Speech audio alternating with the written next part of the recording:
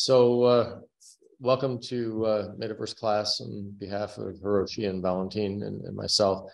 Great to see uh, people here and also on the Zoom. Uh, we got a, another special talk or set of talks today where we start looking at uh, is one of our strongest themes, blurring the lines between physical and digital worlds. We have some people that are really pushing the edge of that concept in interesting ways, and they're both uh, with strong MIT connections. So we're going to start with uh, Shunichi uh, uh, Kasahara. I believe is, is, he starting or is Karthik starting? Huh? Who's starting? Shunichi. Shunichi is starting. Yeah. Okay. okay. Shunichi he spent time in in uh, Hiroshi's group, and then we're going to hear from Karthik Bala, who was uh, uh, also here at Sloan, who went on to uh, start Velan Ventures in addition to many other things. So Valentin will give you the details and we'll kick off. Go ahead, Valentin. Here, yeah, you'll need this, I think. Super happy to introduce Shunichi. We have a long history. He was a visiting researcher here in Hiroshi's group. And uh, one day I stumbled into his uh, office and he worked on an experiment with augmented reality and robotics and and uh, build some paradigms out how to move robots with AR. And I looked at this, and it just literally, uh, you know, this moment, and that was ten years ago. I still work on these things, so. so I uh, we kicked off. I think we had we wrote three papers together over the summer uh, that we worked on all kinds of augmented reality related things and we we we started a project we called Electron at the time. Then it became Smarter Objects, and it became Reality Editor, and then I still work on these things. So um, I'm super happy to, that uh, is visiting us virtually today, and of course he has his uh, career in uh, in Sony. He he started first as an engineer in Sony, and then he moved in. Uh, Rekimoto's lab, I think, and uh, and and uh, did his PhD and is now a researcher at Sony CS, CSL, and he has uh, a, a, long history in in arts and in HCI, and uh, he has a, a, a new research uh, direction that I just saw. So I want to hand it over to you, Shunichi, uh, to to to, to continue the introduction of yourself and start your talk. Sure. So Valentin, uh, thank you for a great introduction. Uh, I'm super, super happy to meet you in, in the battery. And then, yeah, so we have a kind of very long history and then having a very good cooperation together. So um, then, yeah, so maybe I should start some the presentation here. So can you see my screen good? Yes. Oh, okay, thank you. Thank you. So uh, yeah, and also um, one thing, one thing. Give me, give me a second. Maybe before like stop sharing. Give me a second. Uh, maybe I should change. So may, may I may may I turn on the, my AI assistant to transcribe transcribe the system? So just for my talk. Thank you. Like I just I just record my talk. Yeah, just so maybe like my AI assistant will join in Zoom. Anyway, so um, so uh, Valentin, thank you for the inviting me to this talk, and uh, also uh, I'm I'm super happy to see Hiroshi again in Meet Battery, and then thank you so much, and happy to see you again. Nobody cares about. So uh, today, um, so so uh, the so I think that Valentin, so I have a still 14 minutes talk, or should I a bit shrink into the 40, 30 minutes or something? You have uh, you have uh, 45 minutes, yes. 45 minutes, okay. Yes. 45 minutes talk plus um 15 minutes QA or something. Yes. Okay, got it. Perfect. So um yeah, so maybe I should stand on the stop watching and uh, otherwise I always miss the time. Okay. so uh yeah so thank you for thank you for inviting me. And then as the uh, the, uh, the Valentin said so after so I was in the visiting research in that Hiroshi's group. And then after that I'm back to Cam at that time, I was in the engineer in the Sony Corporation, and then after that, coming back from the MIT research, visiting researcher, uh, I was I finished some PhD at the Tokyo University and the Rekimoto's group, and then and also uh, I was joined I, I joined the Sony Computer Science Laboratory and dealing uh, more like the human augmentation things. And then recently, uh, I think that from I think like a three or four years ago, uh, I started my own project in Sony CSL, which is called Superception Project. And then recently, I also uh, opening my the studio, research studio in uh, OIST, which is collaboration with Sony and the Okinawa Science and Technology. I will touch on this a bit uh, things later. But anyway, so Today, I, am very happy to talk about my research about the cybernetic humanity. And I think that is uh, closely related to the metaverse and also the new form of the human and also the existence. So I'd like to start my talk here. Right. Okay, so now also you can see the my, my uh, project from here, this, this website. So if you want, you please check. Okay, so the my, the, my research vision and also my research theme is talking about this humanity, but also not like a usual humanity, but most also talking about the cybernetic humanity. And this is exploring the new human new humanity emerging from the integration of the humans and computers because as we may know, uh, the computer is not like just for human. So now with the, the, computer technology and the computation and also human is more like deeply in intervening and connecting each other, integrating each other. And then the question comes, so then the, in those kind of the situation that the human and computer is integrates, how we can define ourselves and how we can feel like uh, this is still me or not. Because of the, kind the without those kinds of notion of the humanity or some like a, uh, the careful design of the, this integration, we will lose the humanity and we will lose like, what we are do.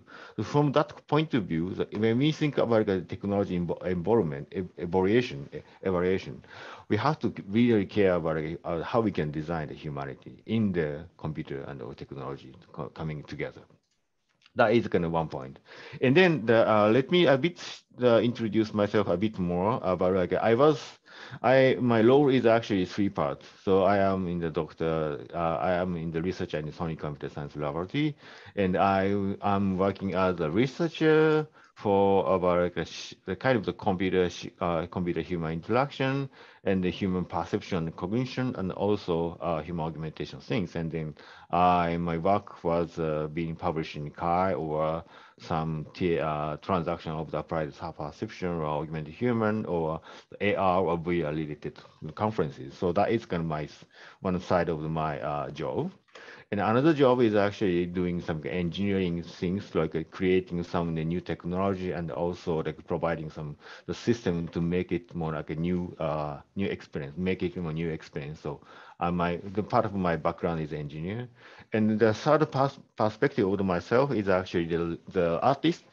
So the two to evaluate and to pursue the, my research vision, sometimes I made some um, interactive art using technology such as um, the morphing faces or like a projection mapping or something. And then this is also important to involve the, the public person or many person get into the joining the, our research cycles and then creating some interesting research cycles. So I will also touch in a little bit later. But uh, okay, so then today I will talk about the cybernetic humanity, and then this um, I made a, this presentation for this uh, metaverse uh, class, I, I made this uh, the agenda for today. So I will start by talking about the potential of the metaverse.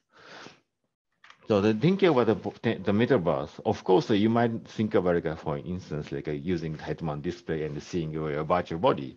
But uh, this is the point, because in the virtual reality or something, we can manipulate the, how we can see the bodies in virtual reality world.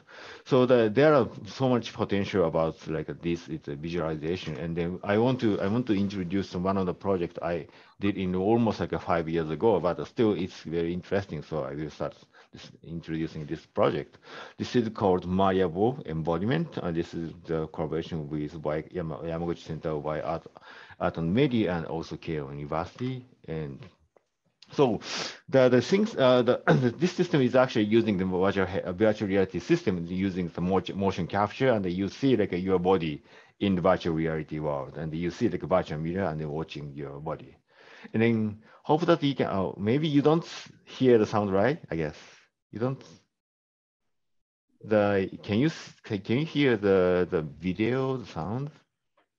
No. No. Okay. Okay. Okay. Anyway. That's fine. Okay. So give me a second.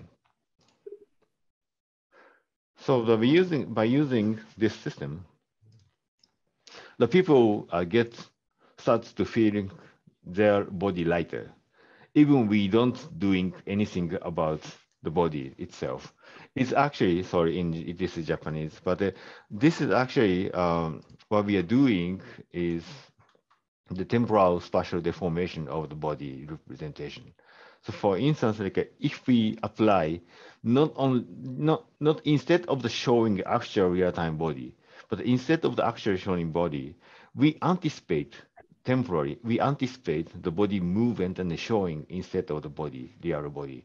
And then with this situation, the, they started to feel, oh, body, my body get lighter. And then also you can imagine like if we apply like a slightly heavier, uh, sorry, the delay of the body, uh, the visualization, and then they feel like, oh, my body get heavier. Uh, so uh, this is the point is that we don't do anything. We didn't do anything about like physical. So like we don't we didn't do any like injection of the the medicine or some uh, the uh, putting some like, um, the weights. But uh, this actually uh, change the, the the way of the sense of the body. So the, this point is actually, so even they did not notice the visual changes, for instance, they, they didn't uh, notice like a, uh, this, you know, the body get faster or slower. They just feel, oh, my get body get heavier or lighter. So this is the point because this is the implicit change of the sense of body, and also we can make it parameterized which means like a, you know the he is doing some motion and then I actually change the term parameter without knowing with, without him knowing it, but still he he he's like oh my body get lighter something a very good condition something. Right. So um, that's from that point of view. Uh, I think the changeable rendering body is actually change the sense of body and also even without knowing uh, with the people knowing it. So it means like we can inject some like implicit change of the body by means of the changing the rendering of the body. That is one potential.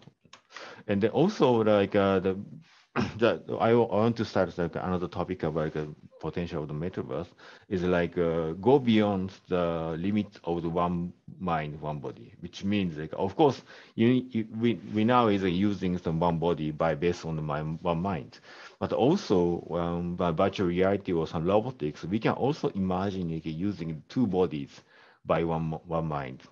So to test test these ideas, we actually so for instance, imagine like we have some robot robotic body and then doing some kind of motion. So yeah, so like you can feel like oh this robot arm is myself.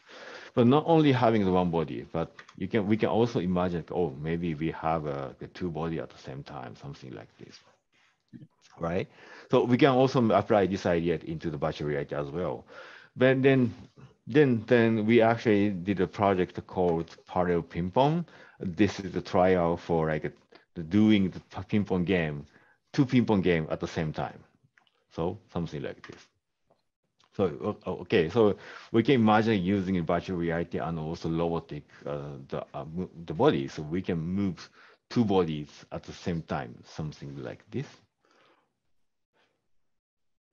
And then using that, so we try the, the this project called Parallel Ping Pong, so maybe not sound, something like this. and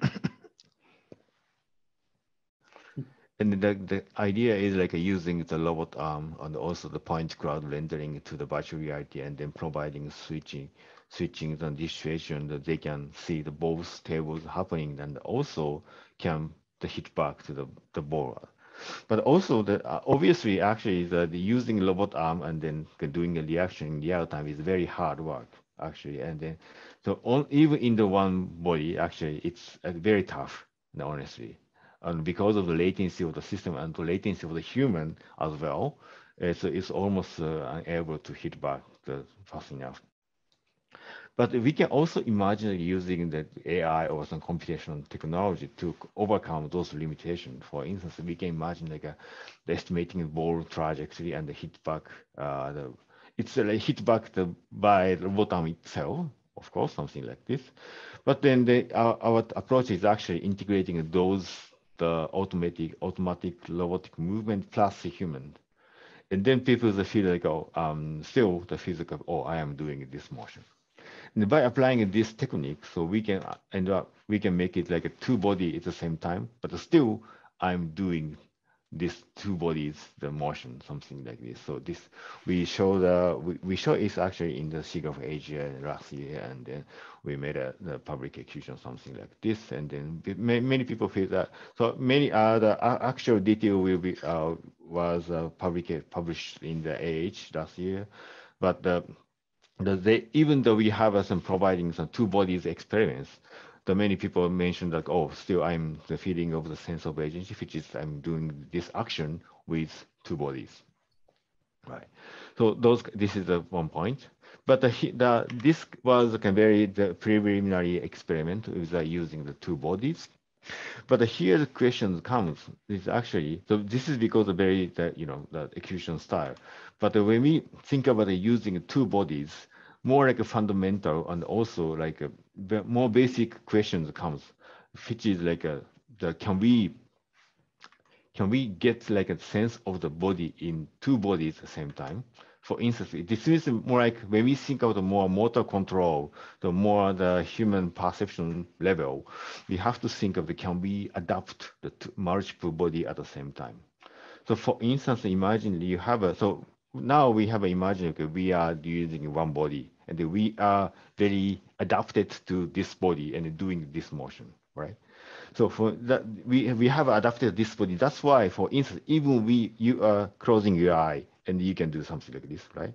So because you have a you have a the motor model of your body body movement.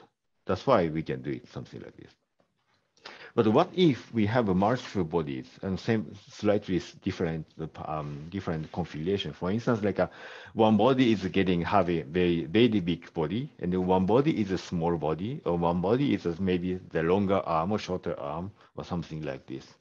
Then can we can we adapt these different bodies at the same time?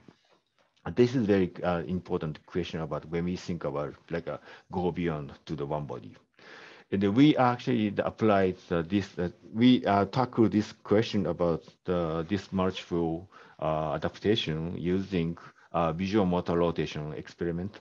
So visual motor rotation, so I will a bit touch on the visual motor rotation experiment, which is very fundamental experiment about like motor learning. So I will a bit explain about these things. So uh, the visual motor rotation is actually a well-known experiment about like a motor learning. So maybe I can show some video. Uh, yeah, so something like this maybe. Okay. Okay. So for instance, you can see like uh, now the the he is doing some like a reach motion in virtual reality uh, body, and you see like uh, he is touching the target here, right? So that this is a task, but the point is actually the applying some visual motor perturbation, which is like a, applying some rotation in the virtual body.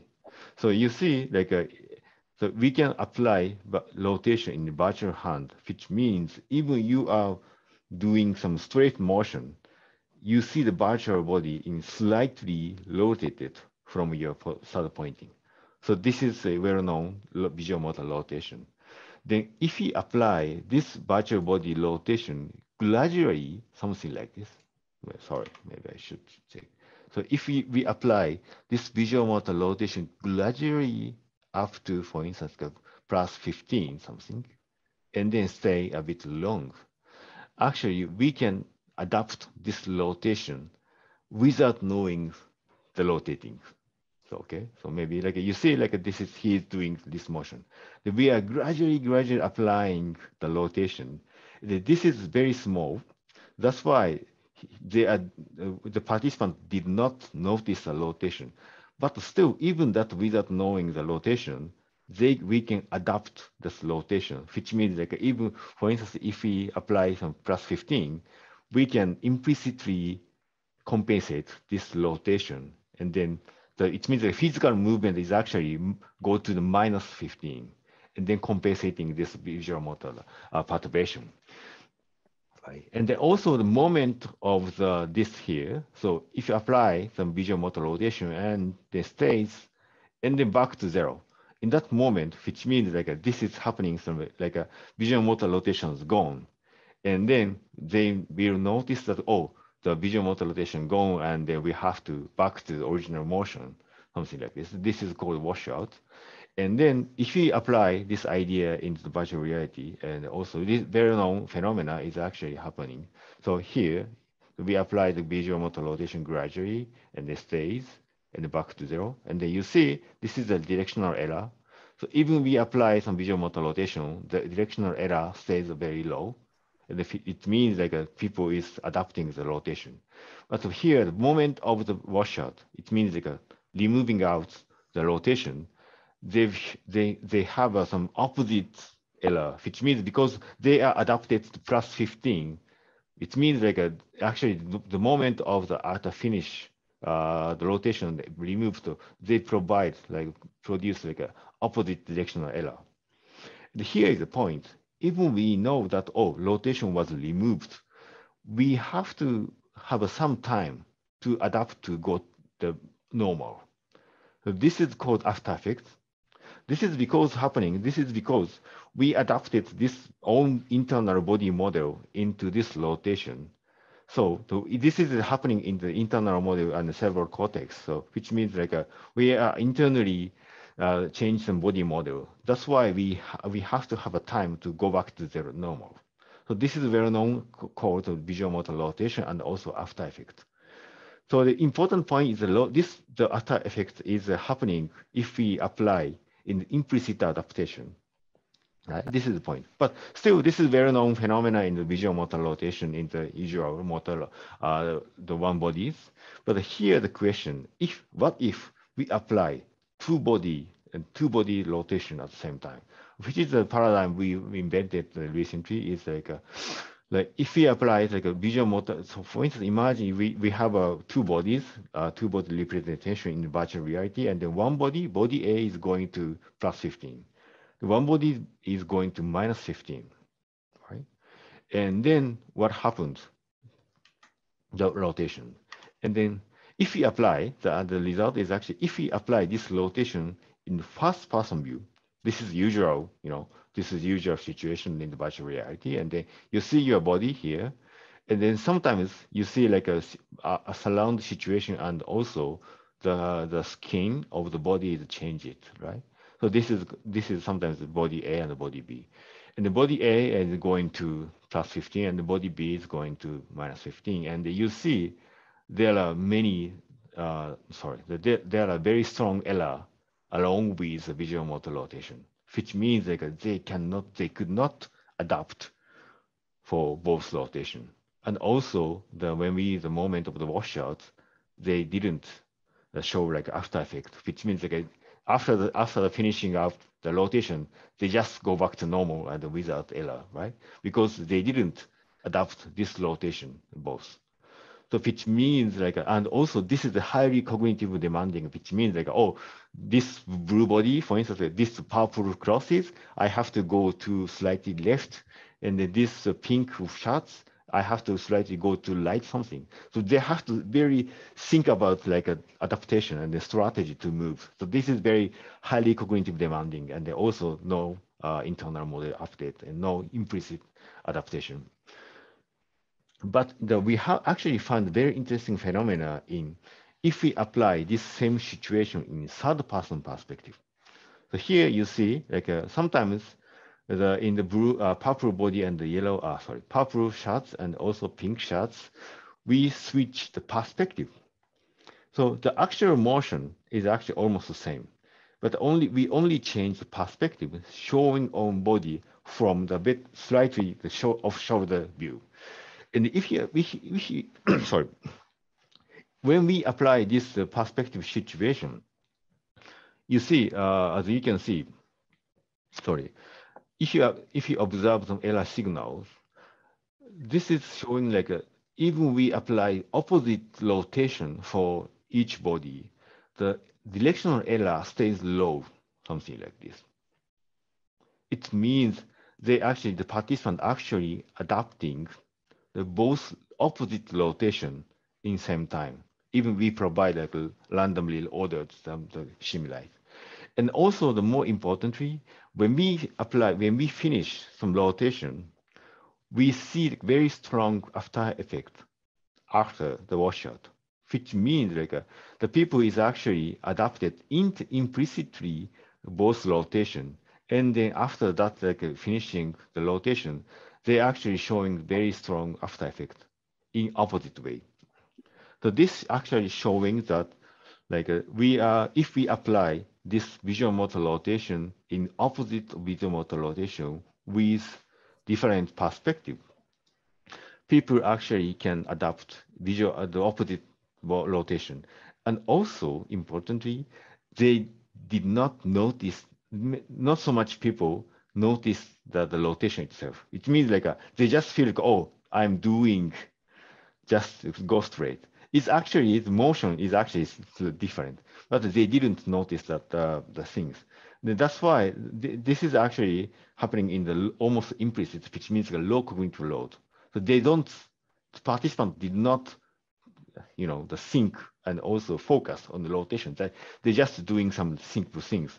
But actually, the load, this like uh, the adaptation is happening, right? So the, it means like we are, if we apply some those kind of trick of the perspective, we can apply some visual mode, uh, the dual adaptation, which means like a multiple body adapt, adapt. Uh, we can apply, uh, we can adapt multiple bodies in parallel. So uh, of, of, of course we can then we can apply this idea to, into the virtual reality body. Something like uh, imagine you have a you have to ch choose you have to doing like a several task in virtual reality and the different body configuration even we if we apply these kind of techniques, we can apply we can adapt many type of the bodies in same time. But uh, the point is here is actually the perspective matters because uh, the the the I think one one of the the invention of the metaverse or virtual reality is actually we see your our own body from uh, other perspective. This is actually the very strong invention of the technology. So I, I think that the, one of the one of the potential is actually the using new perspective is actually open up the new possibility of the human adaptation. I guess. So that is the, uh, this this is what I was talking about like a perspective. And also if we apply this idea into the the one beyond one mind one body we can use this implicit process of the adapting multiple body, which means we can still have some resources, mental resources for doing explicit actions for each body, which is actually important. Because if we consume or we consume the explicit resources doing doing things, uh, many things, we cannot, you know, the, the preserve like a mental effort to doing. But if we apply the implicit adaptation to body multiple bodies, we can use the explicit resources doing multiple tasks in, in virtual reality. So that is an important question, important pointing point of the multiple embodiment. Okay, so and then the, from those kinds of stories, I just want to uh, go to the next topic about like, uh, to what extent are we ourselves. Well, this is a bit a uh, bit from the beyond the metaverse things, but I think still the important question about when we think about metaverse. So then here is I want to start with talking about the, this is my action things. Okay, so this is the collaboration with uh, Jun Nishida and Kenji Suzuki uh, in the Tsukuba University of Tsukuba, and we did it in the SIGGRAPH uh, E-Tech in 2017. And then this called project is Wired Muscle. So um, if you have a, so if you have a chance and then you know the you if you are attending this this class and physically and if you have a pen please uh, try yourself with your friends or neighbors about this experiment but uh, i want to start the pen drop test pen drop experiment so when we think about doing something like this So if you try this the pen drop, uh, the other person the pen drop, it's it, actually it's almost impossible to catch the pen. But if we apply the some new technology to applying some technology, okay, we can catch the pen something like this. All right, you see this. So uh, so um so it's it's so nice if you can try by yourself and then pen drop. And then usually, and then this kind of the whiteboard pen, it's hard, very hard to catch. And also, even you get them a drink or something, it's the this reaction time gets super longer, so it's almost impossible. But uh, here, that you see like a, this the demonstration that people is can get the pen. So I will uh, explain about why possible. Uh, yeah, so maybe I see like somebody somebody is doing something. So please try it uh, in your physical. Yeah. Uh, so we have something. So maybe you should you can try like a very very close to your the hand and then something like maybe like you see like something like this. So you, you see like something like this maybe maybe something and then of course uh, when I try myself it's almost impossible I it's possible to catch my by myself, but if the other guy, other people is release a pen and then try to this pen, it's uh, very uh, hard. to try try by yourself. Uh, but anyway, so the this is very quite important. Uh, uh, this is very quite hard, and then why why we cannot catch the pen? Uh, I will explain. Is actually in the human process we have a latency of the perception and the cognition and the motor plan. Because in the moment of the, the person A is release a pen, the person B is the percept the, the motion, uh, the visual, and also understand that, oh, pen is starting to drop. And then start to think about the motor plan to catch the pen. And after that, all the way along to the, the, the nerves, the, the, the motor signal come to the muscles and the muscles start to actuate. And then finally, we can catch the pen. So it's all the way along to the, some signals, it actually takes like a 250 milliseconds, which is like a which is like longer than the pen drops. That's why we cannot catch the pen. Right. So that, that's that's the reason for why we cannot catch the pen. But in the the video, what we the behind the magic behind it is actually we measure the EMG electromyography uh, the muscle activi activity activity in your person A and detecting moment of the muscle activation. And they also uh, send a signal to the, mus the person B that we actually apply the electromuscle stimulation, which is actually applying some electricity into the, your muscle directly. And then this uh, EMS actually, actually actuate your finger uh, by, by means of the electromuscular stimulation. That's why we can get the pain, right? So in the moment of the, this here, this is actually the, this is the my electromyography, and then this is here is we I paste the elect, um, elect, EMS, electromuscular stimulation. That's why we can catch the pain, right? So, and then that's, that's the point. But uh, here, um, sorry. and then we, we show the, this, uh, the work for the many venues, like including SIGGRAPH and then, so, and then for instance, in this video, for instance, okay, in this video, oh, sorry, in this video, in this video, the first trial is actually without EMS. In the second trial, we secretly turn on the EMS, okay? Then please start. The first, he could not catch the beam the second, he could catch the pen, right? Then, look, we actually the exhibit this work for many venues, but uh, in the very beginning of the project, we just showing this project and then, okay, so like uh, we can we can accelerate your the, the grabbing motion and then the people, uh, we are just like happy to, oh, maybe we can make, of make it faster. But some people, uh, or actually many people mentioned that like, oh, I could catch the pen.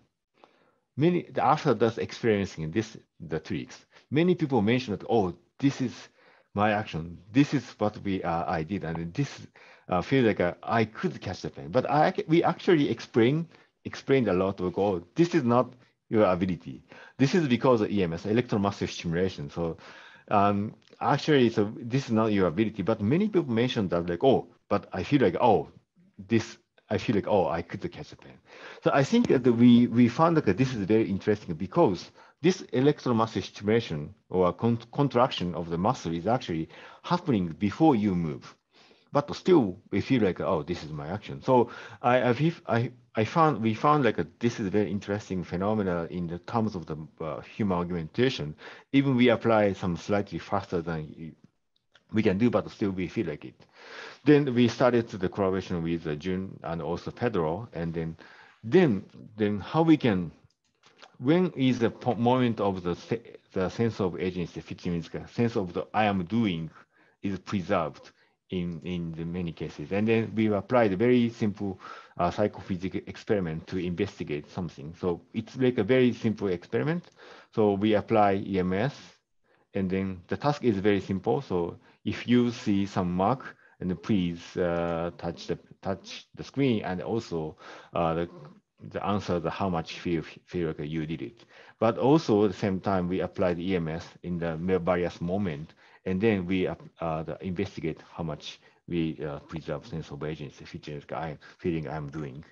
And we um, plot the, the curve and we found actually, even we apply, sorry, even we apply the, the EMS, which means the, the faster motion, then the, maybe like I should, oh, sorry, I couldn't see, you cannot see the value, sorry anyway, so this is 80 millisecond. So if even we apply the acceleration 80 millisecond faster than you can do, but still many people mentioned like a, almost like half, but half, had 15, 50% value.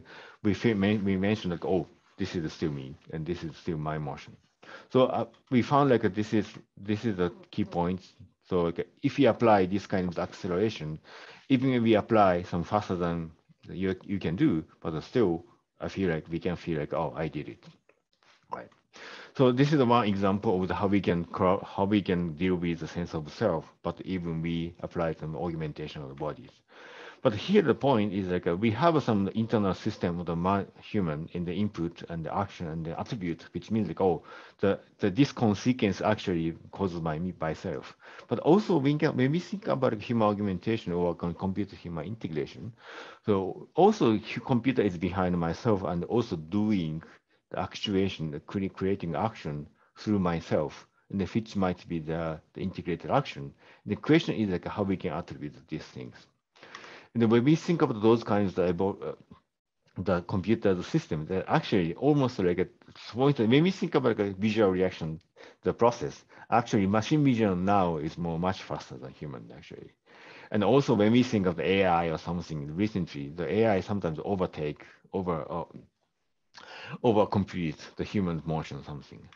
So those kind of the things is actually uh, the lead us to think about it. How we can this uh, idea into more complex uh, complex task and then more like in the choice task. Okay, so then we can we can imagine like we are I'm doing something, doing like a game or something.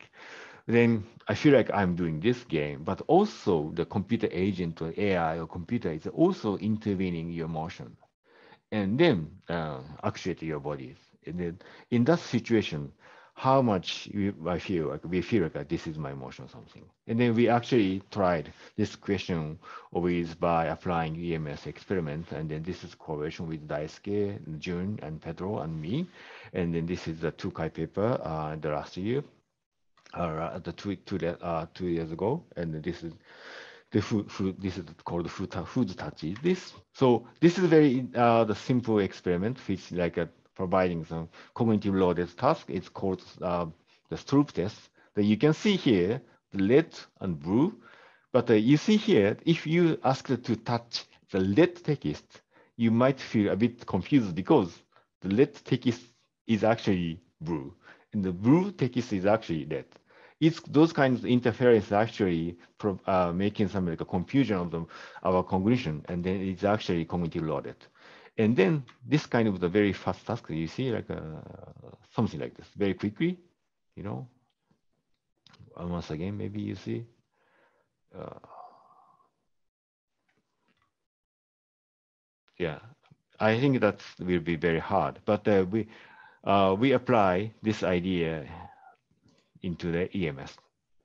So you can see like EMS here, and then participants have to touch some like a corresponding question, and also EMS actuate your finger, uh, more the muscles.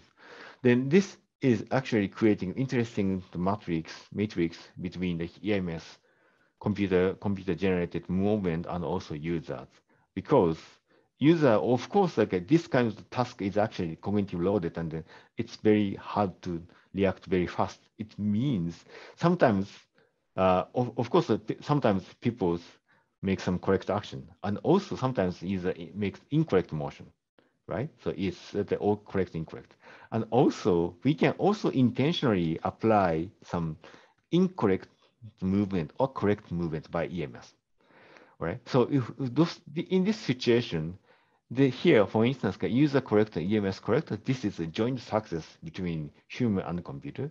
And also user incorrect and the EMS incorrect is actually providing a joint failure between human and computer. And the other side, as you see, like a, even user incorrect, incorrect, EMS can provide correct motion, which is like a false success, and then vice versa. False, we can also make false failure, right?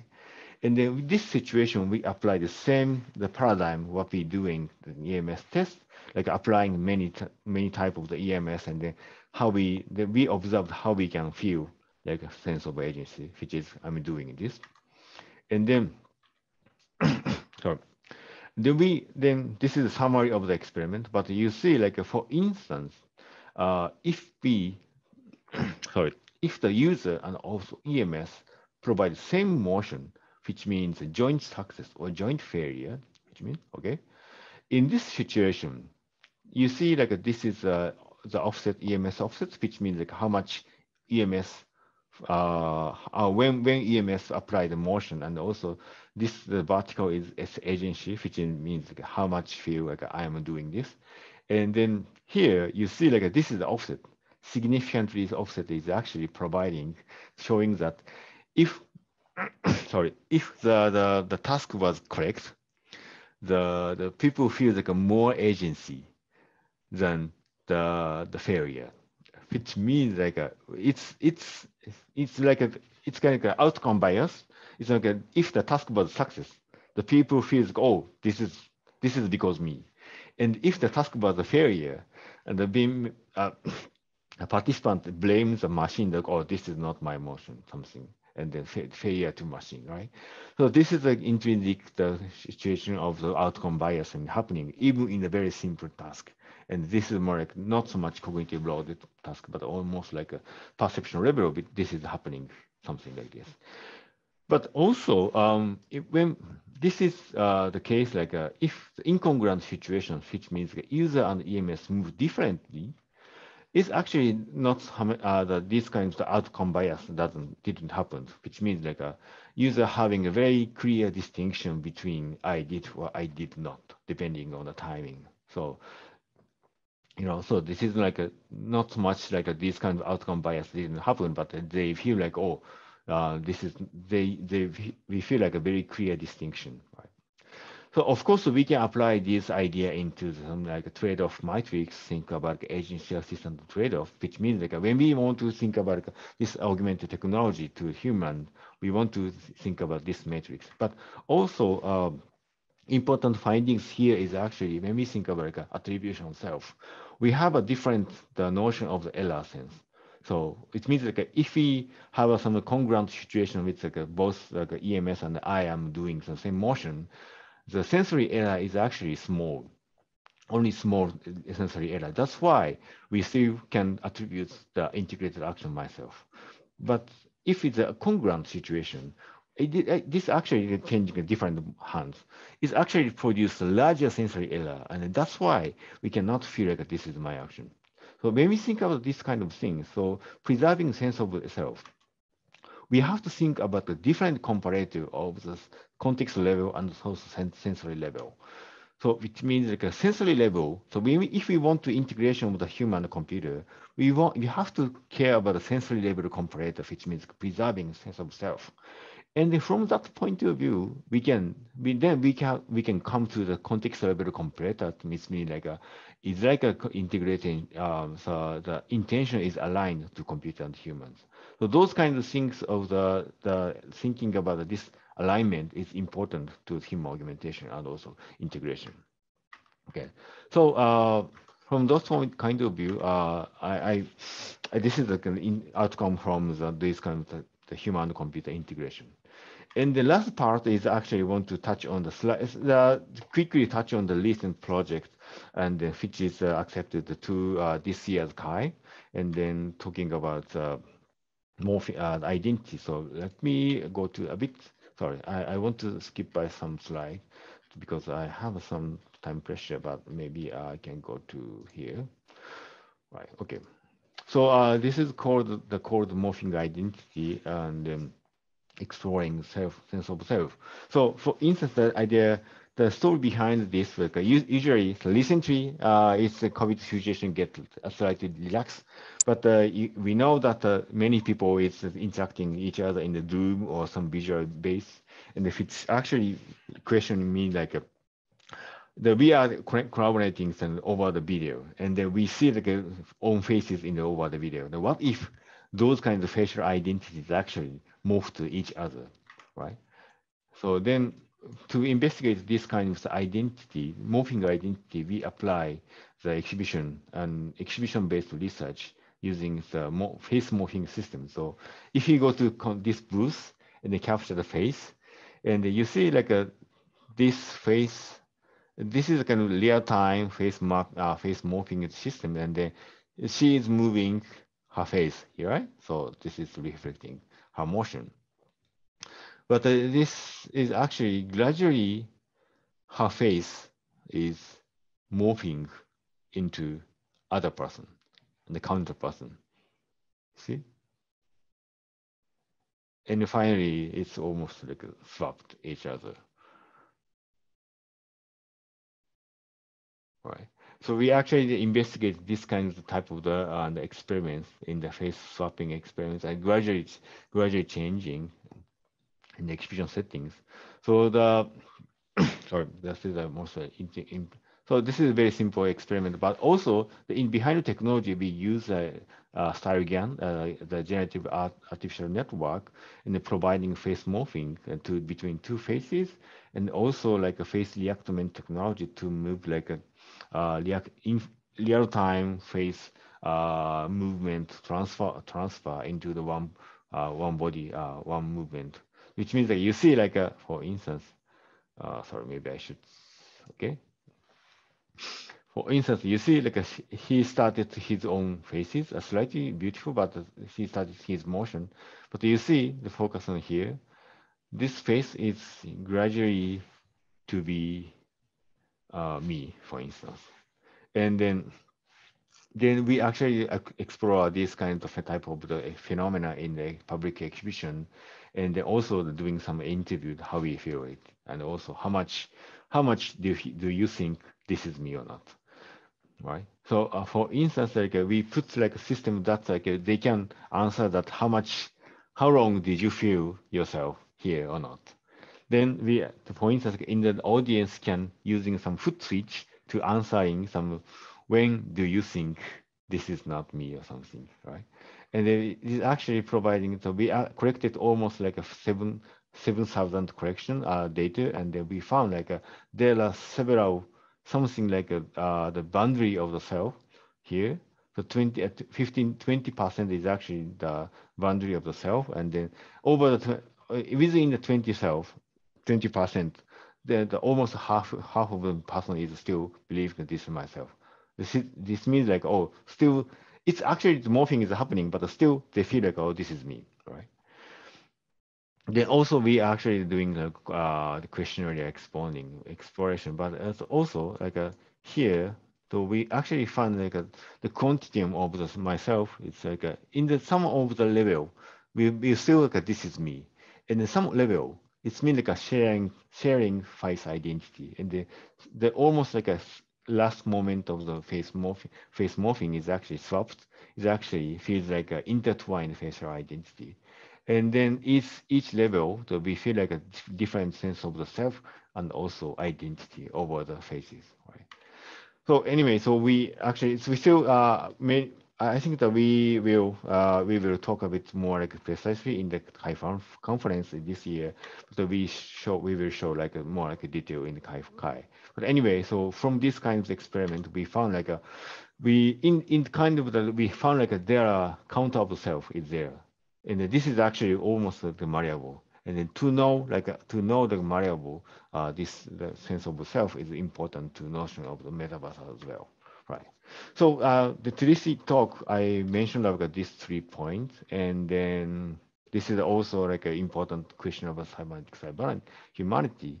And the last point, cybernetic humanity, is actually how we can think about like a balance between augmentation and own subjectivity. Because when we think about augmentation with computer assist, uh, integration, we know that we can make it more like a variety of things, but also we have to care about our subjectivity, our sense of self. How we can those be, bridge into this more uh, two element is important. And I guess to to investigate these things, I I'm doing like this research cycle, like this research through experience. So I'm doing like doing the um, the exhibition and also investigate some human perception and cognition and build a system. And these the cycles I am doing, um, investigating these uh, topics. Okay, so then uh, those kinds of projects was done by our great team, brilliant team in the Sony CSL. And then still re recently I've started to the, uh, the uni, uni, new cybernetic humanity studio in Okinawa. So maybe you can, if you have a time, come to that. Okay, so that is the end of my talk, and then thank you for your attention, and they're happy to, take question.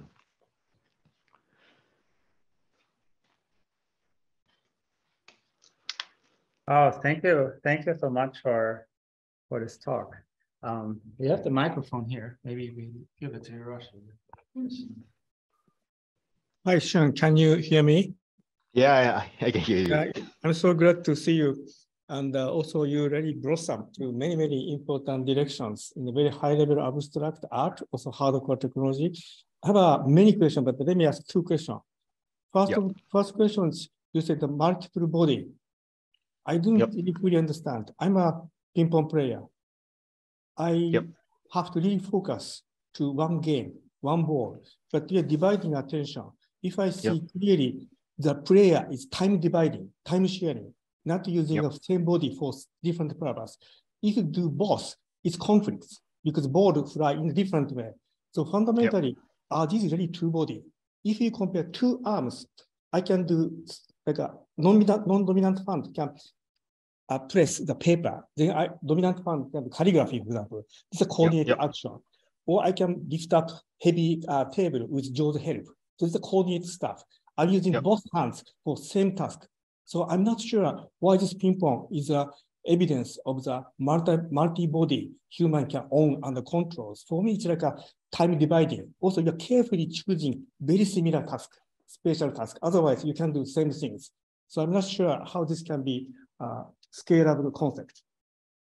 Thank you, thank you, thank you so much. Yes, that is a quite uh, fundamental question about like a multi embodiment, because I do agree that uh, that you mentioned like uh, we have to really focus on the task, and then honestly, I mentioned like uh, one mind, one uh, one mind, multiple body, but I, I believe that our limitation, huge limitation, is our focus or attention. This yes. is singular resources, I believe. So we cannot using multi-focus, multi attention. We cannot make it. Our brain doesn't allow multi attention. Of course. So I be I so I I I, I do agree that. So if, the point is like a point so is like a okay continue please yeah yeah yeah so the point is like actually i mentioned like a multi-body but it's actually the para truly parallel is not possible in human i guess i believe the truly parallel in attention is not important then uh, it's not of possible. But, of course, it's but, impossible. Yeah. Yes, but we can still doing some con, con uh, concurrent task. So it means like time. Yeah, uh, be careful. It's not the concurrent time slicing. Yes, yeah, yeah, yeah, one time time. It's not, it's not a simultaneous at all. Yeah. Even It's not Yeah. concurrent. You have to use a term very uh, rigorously. Even body, you can do two things using two hands, but still mind is one. But you study the metaverse, Yeah. not the Yeah. avatar. It's like Yeah. you talk about 100 avatar you control with one body seems to be impossible, especially Yeah, you. mind. Mind is not really do anything parallel.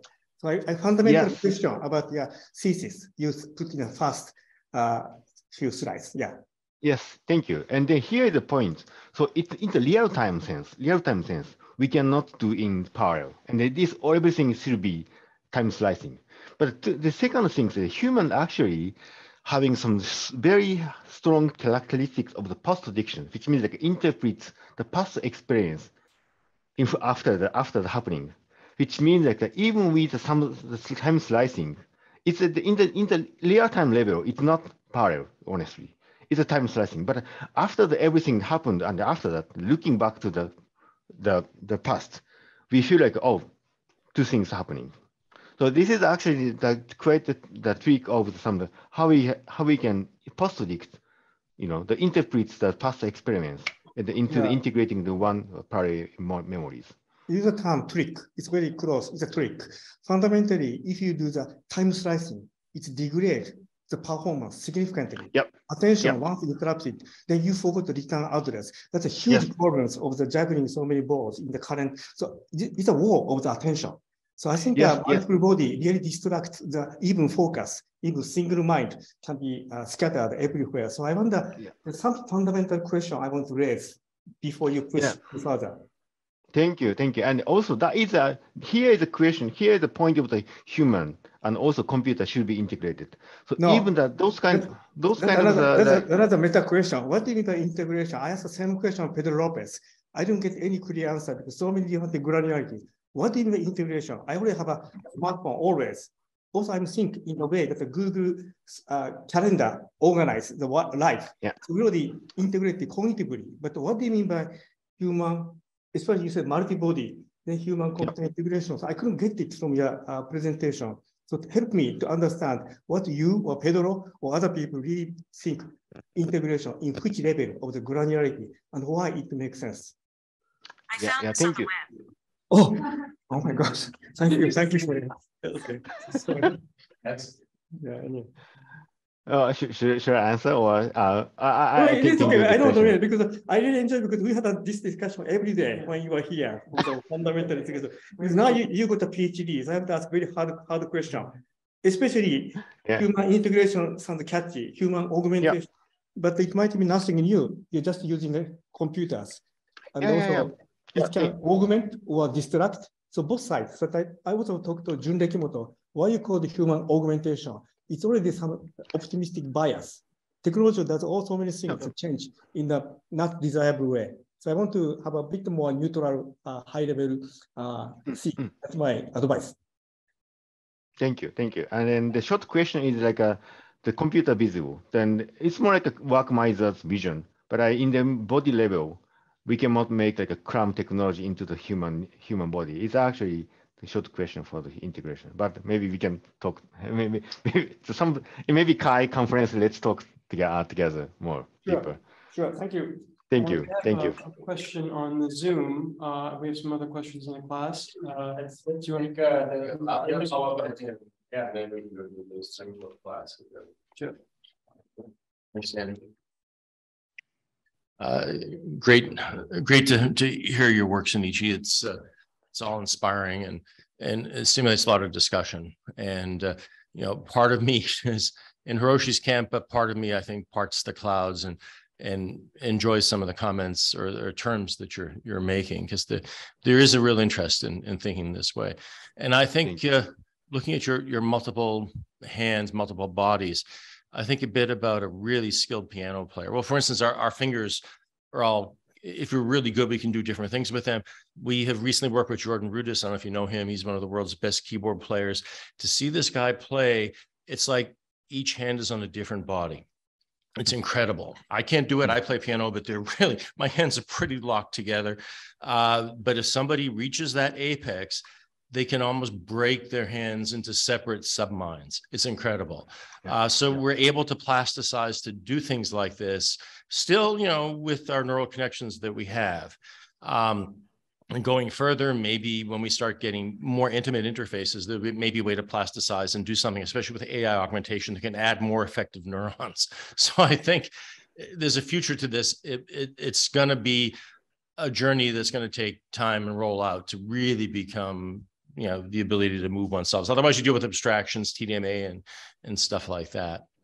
Um, I, I thought of one other thing I was going to bring up, and uh, it has escaped me. So let's go to other questions, and that will come back. But this is going to be a prelude for the other question, but that will that will come in a minute. Thanks, John. Thank you. Thank you so much. Uh, Kathy? Hi, Shunichi. Thank you so much for the inspiring talk. I've actually collaborative work on the transparency of human machine integration. Oh, can you hear me? Sorry, I, I cannot see you well. Sorry. Is it too too too far away, maybe? Getting some super small. Like, you know. Um, okay, I'll try to speak a little louder. That works. oh, it's it's super super tiny sound. Sorry, I cannot hear you well. Did you hit a button on it? You could hear my soft voice. Just leave it there and see. Is it working now at all? No, it's now it's hearing very Yeah, well. just leave it on the tip. Yeah.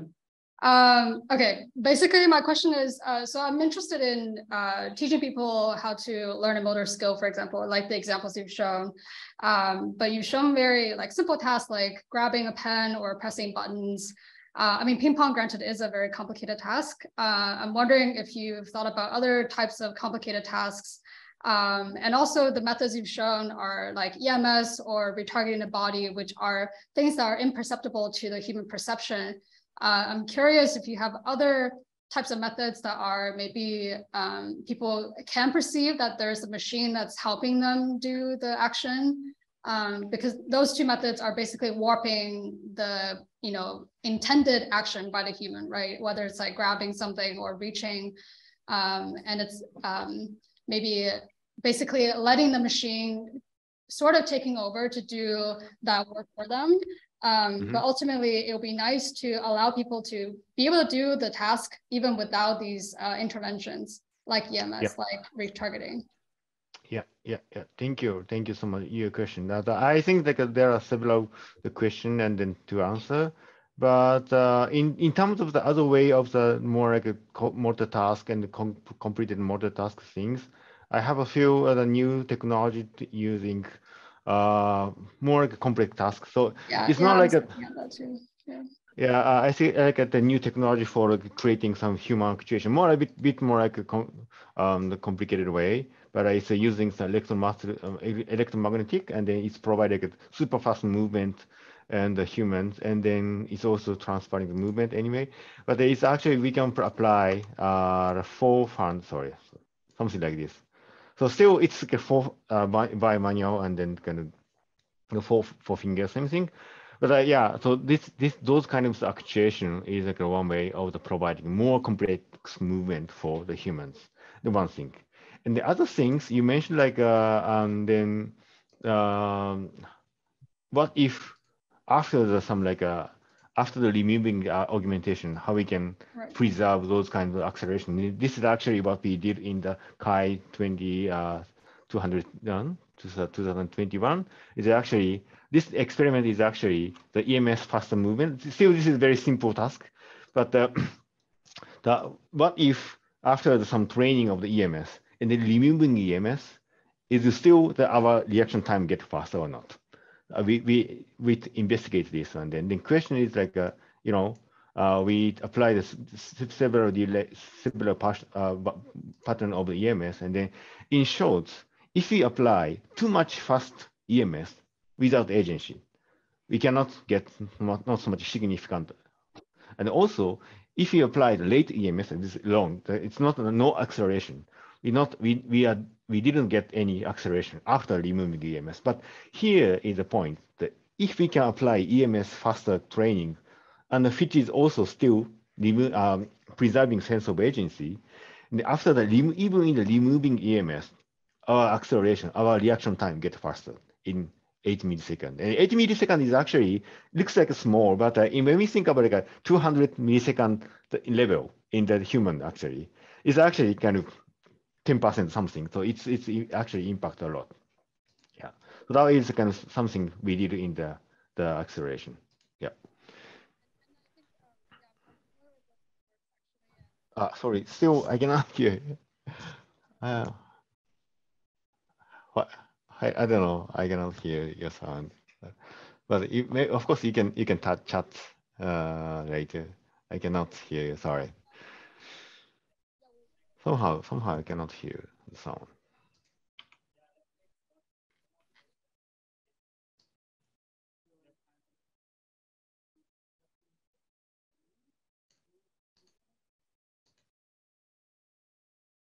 Oh, I see. I mm, I cannot hear well and uh, Okay. Hi. I think I'm Ah. asked to come off of mute now. So to ask my question, thank you for your talk. okay. Um, my name is Amina. Actually, you have perfectly answered my question about the pen drop task, whether or Okay. not it's improved. So, uh, do you Nice. do you have any conjectures as to why uh, the sense of agency re- results in that improve? Uh, Yeah, yeah. mhm. That thank you, thank you. That is actually the still our going on the project, which means like what is uh, this is actually fundamental question is like uh, what is the function of the sense of agency? Because like uh, I think like one of the, the function of the sense of agency is like uh, accelerating or gating the, our human uh, mo- mo- uh, learning. So which means it means like uh, providing some sense of agency is a key point to providing or driving uh, the learning. And this is because like when we imagine like a motor learning some of the, uh, the process, so if we adapt to the non-sense of agency things, the learning will be so much converge, and we cannot we are diverse. We cannot converge the learning into the specific task. So I think our brain actually the gate, the our learning process. Only we have a sense of agency in the action, these kinds of uh, the learning is happened. And the- then if we don't have a sense of agency, we don't learn or adapt those motions. I think that is our working hypothesis, but still working on like it. Yeah. Mm, Appreciate it. Thank you. Thank you so much. Okay,